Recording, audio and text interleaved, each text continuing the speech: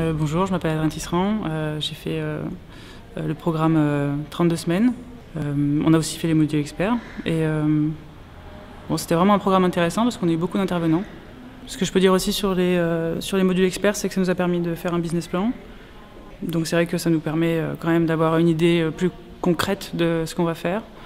moi, je vais faire du documentaire et une activité secondaire qui sera le mariage. C'est vrai que d'avoir euh, vu euh, bah, un photographe, deux, photographes de mariage, euh, d'avoir vu pas mal de personnes qui font du documentaire, ça nous a, apporté beaucoup d'informations. Et, le fait d'avoir un projet comme ça écrit, ça, met les bases, on, sait d'où on part, on sait où on va, et ça simplifie beaucoup les choses, et, c'est important. Donc c'est vrai que c'était un bon programme.